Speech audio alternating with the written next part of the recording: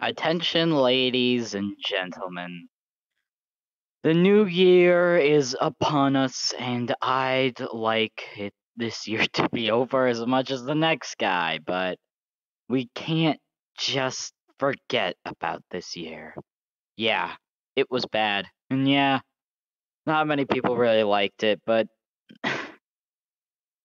it wasn't the worst year of all time. I mean, yes, there was the virus, and yeah, there was the whole 5G crisis, then there was other such problems, but that's fine. We survived. We made it. And I think I say this with everyone when I say it's always darkest before the dawn.